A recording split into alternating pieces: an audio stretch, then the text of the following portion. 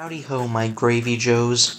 Today I've been thinking a lot about Fallout 4, and more specifically, how screwed the uh, Commonwealth overall is.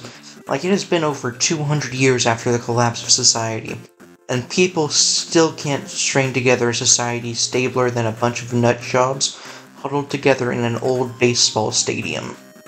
Like, I get that the Institute apparently manipulated all of that, but that just makes you ask, why did the Institute have any reason to oppose surface stability?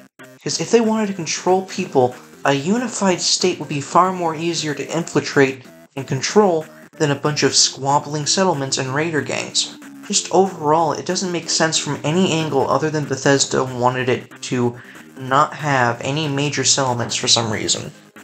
Let me know what you guys think.